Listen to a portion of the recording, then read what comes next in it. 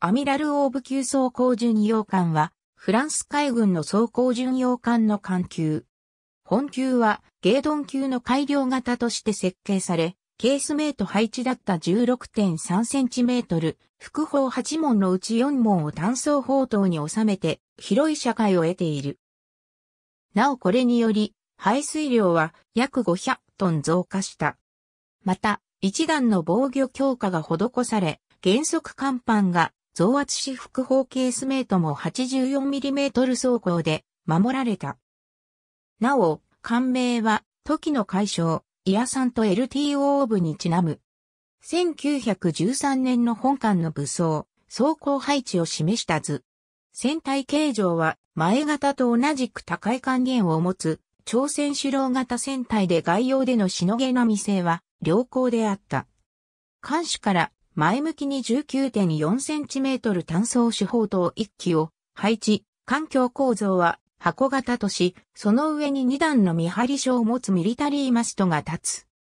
ミリタリーマストの頂部の見張り所は、上段が単焦灯台で下段に4.7センチメートル機関砲が配置された。環境の背後に4本の煙突が立っているが、ボイラー室を前後に振り分けた間室分離配置をとっているために、煙突は2番煙突と3番煙突の間は広く取られており、間に四角形の通風塔が立っている。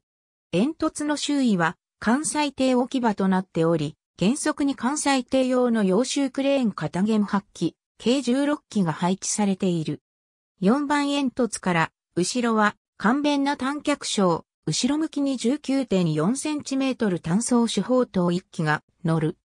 副砲は前述の通り16.3センチメートル、単装速射砲8門のうち4門が単装砲塔に収められ、船体中央部に片弦2機ずつの計4機が配置され、残りは単装ケースメイト配置で環境の左右に1機ずつ、ミズンの左右に1機ずつの計4機が配置され、前方方向に最大4門、左右方向に最大4門が施行できた。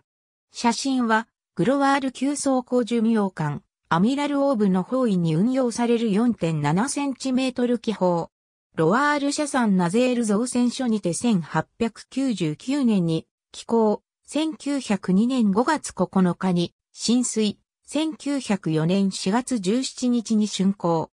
1922年除籍後、4月に解体処分。ロリアン造船所にて1901年3月20日に寄港、1902年3月12日に浸水、1904年8月12日に竣工。